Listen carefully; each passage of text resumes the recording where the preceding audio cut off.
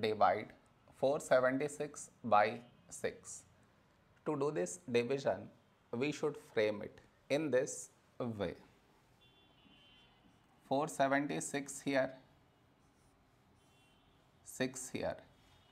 This is your step 1. Next, here we have 4, here 6. 4 smaller than 6. So we should take two numbers 47. A number close to 47 in 6 table is 6 sevens 42. Now we should subtract, we get 5.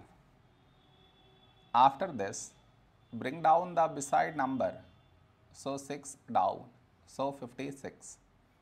A number close to 56 in 6 table is 6 nines 54. Now we subtract, we get 2. After this, no more numbers to bring it down. So what we do is, we put dot, take 0, so 20. A number close to 20 in 6 table is 6 threes 18. Now we subtract, we get 2. Now you observe, we had 2 here and we got 2 again. That means this number keep on repeating.